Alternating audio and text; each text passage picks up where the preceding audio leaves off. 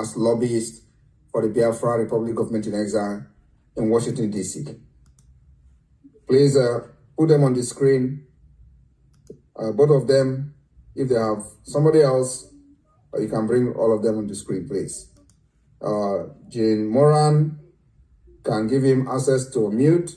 The same thing. I've, I've made them co-host, both of them, right. so they can. All Uh, right. All right. Thank you very much. And Well, thank you, Your Excellency. Uh, my name is Jim Moran. Uh, I served in the United States Congress uh, for approximately a quarter of a century. I, um, uh, after I left the Congress, uh, I began to uh, represent some corporations and countries and causes that I believe in. It has been an honor to work with you, Your Excellency. Uh, uh, Elias Gerasulis uh, is my partner. Uh, this is primarily Elias's uh, account, but I'm going to be working with him.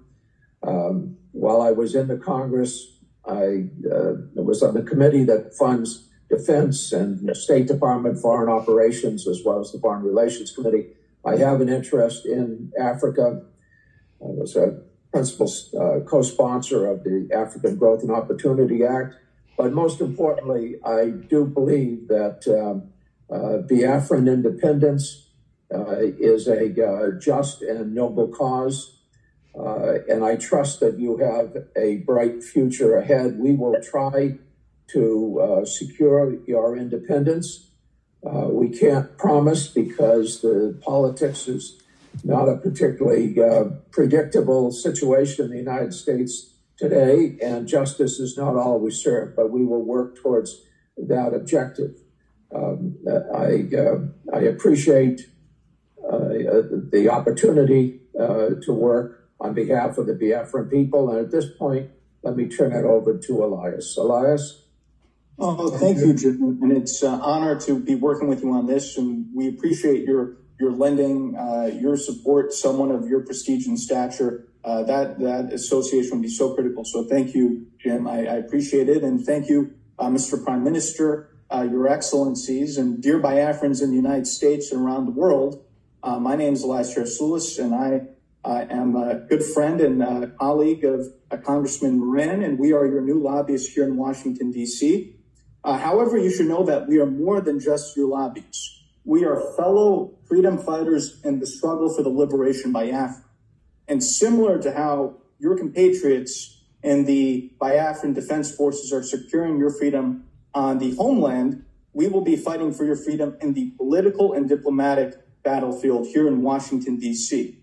And we will make sure that all these U.S. officials, all these congressmen and senators understand that the Biafran independence movement is a pure democratic civilian uprising against injustice, the very same one that we had in the United States when we declared our independence from the British 200 years ago. On a personal level, uh, I knew I had to get involved in this struggle, not only because of my belief in the Biafran cause, but my belief in His Excellency, the Prime Minister Simon Ekpa. As I got to know the Prime Minister, I could see that he has remarkable leadership qualities and vision. And I knew that instinctively that he was a man of destiny and that he will have a very important um, impact in Africa uh, in the years to come. And I thought it was a personal duty uh, to assist him. Already, the prime minister has made uh, remarkable progress and has outsmarted uh, the Nigerian system in many ways. The prime minister has done this with the self referendum. He has done this with opening uh, diplomatic liaison offices around the world. And I think by establishing a proper Biafran lobby in Washington, D.C., the prime minister has delivered his master stroke. And if you can uh, look at the Nigerian media and the social media, uh, you will see that this is something that's been uh, highly publicized. And I think this is because they understand the moment that the United States starts to gain uh, more support for the Biafran cause, it will be uh, a game changer. Because when the United States leads, other countries follow. Congressman Moran and myself are your voice to the U.S. Congress, your voice to the White House, your voice to the State Department, your voice to the highest offices in this great land. And we will not stop until victory is achieved. Long live the free, independent, and sovereign Biafra. Thank you, Mr. Prime Minister. Thank you Thank you very much. Thank you very much for that brilliant speech there.